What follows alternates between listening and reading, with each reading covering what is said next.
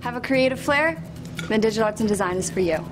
I decided to come to Great Oaks because I thought it would be a great opportunity for me because they have a more hands-on learning system and smaller classes, so if I needed extra help it would be easier.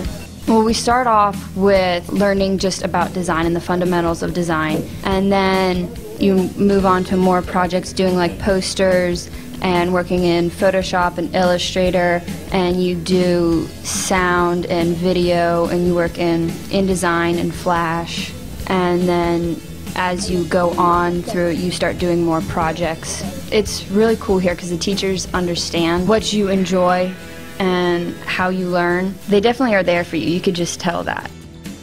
Great Oaks is preparing me for college because they have uh, college classes that you can take in academics and you can get ahead. It's kind of like a step up from high school. They treat you very, very much like you would be like at a job or you have your own responsibilities instead of um, just kind of telling you what to do and you're uh, responsible for your work. You can go into a lot with digital arts and design. There's so many things you. You could do like a designer if that's what you like, or you could be like a photographer, or even you could do traditional art.